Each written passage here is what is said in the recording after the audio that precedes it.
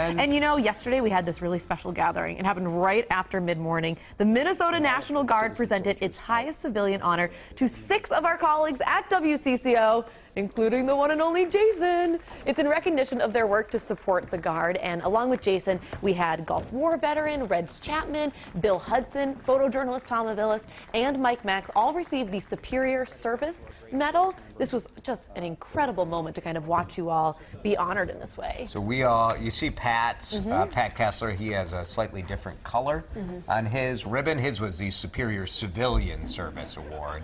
So they kind of, it's Mm-hmm. essentially the same award we got for volunteer because uh, Tom Aviles, for example, now there's somebody who really deserved this. Yeah. I don't know. I, I'm still a little overwhelmed by the whole thing.